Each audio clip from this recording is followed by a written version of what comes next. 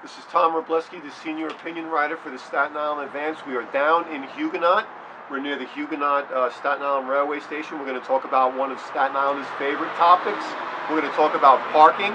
We're here. There's a municipal lot right over here next to me. There's another lot across the street.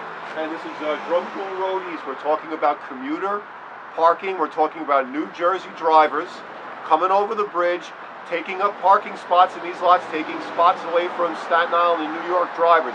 Uh, me and uh, photographer Bill Lyons, a couple of minutes ago, we walked down Drumgoole Road East. We checked out license plates. I was here recently. There were 49 cars parked along Drumgoole Road East. 39 of them had New Jersey plates. I was in this other lot across the street.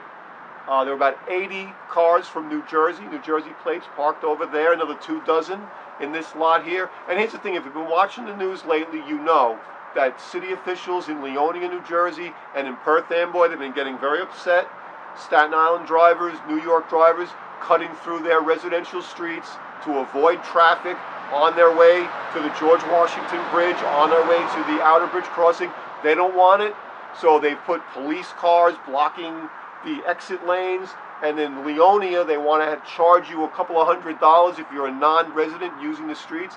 But meanwhile, New Jersey drivers are perfectly free and clear to come over here to use the uh, parking spots paid for with our tax dollars, infrastructure with our. They're not even getting charged. And it's not like they're driving through here and coming and going like we do when we're driving through New Jersey. They're coming here, they're staying, they're parking here all day. We also, we're a neighborhood resident from some of the streets uh, across Huguenot Avenue. Jersey drivers parking on those streets, staying there all day, and you know how people are defensive about their street parking on Staten Island. And meanwhile, this is taken up all day long by commuters from another state.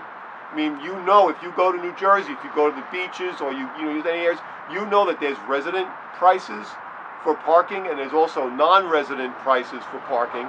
And you know you're going to pay a lot. Meanwhile, they're coming in, they're not even paying. Because what they're doing is they're coming, they're taking the express bus, we're standing in an express bus stop. They take the X17 or the X19, they go to their jobs. I'm told they take Staten Island Railway home from Huguenot, they get back in their cars and they go.